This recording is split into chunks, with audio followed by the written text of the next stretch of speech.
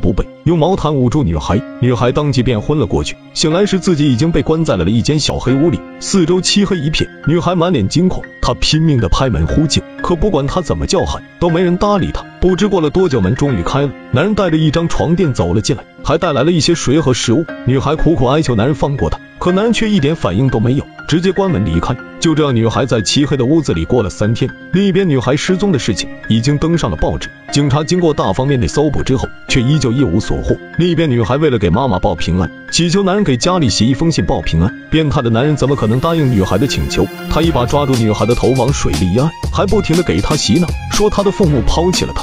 这天，警察终于找到了男人。原来，男人在绑架女孩时被另一个女孩看到了，于是警察搜查同款货车，才找到了男人。警察在搜寻一番后，却只看到了杂物。可他们不知道的是，女孩此时正在他们脚下的地牢里。就这样，近在咫尺的女孩就这样被生生的错过了。从那之后，男人每天给女孩洗脑，他还在地牢安装监听器，防止女孩搞小动作，也不停的通过监视器不断的向女孩重复：服从我，服从我，服从。这个女孩太可怜了。她被男人囚禁在地下室，不仅要遭受身体上的折磨，还要遭受男人精神上的折磨。女孩每天都在想着怎么逃出去。她试图用牙膏涂抹在手上，假装成烫伤，祈求男人送她去医院。可这种小伎俩根本就骗不了男人。男人除了不让她喝水吃饭外，每天还会不断的对女孩进行洗脑。四年后，女孩长大了，但她也依旧没有有忘了要逃跑。她一次次的向监视器表示自己的抗拒，成功激怒了男人。直接对她断水断食。没过多久，女孩迎来了人生的第一次大姨妈。男人觉得恶心，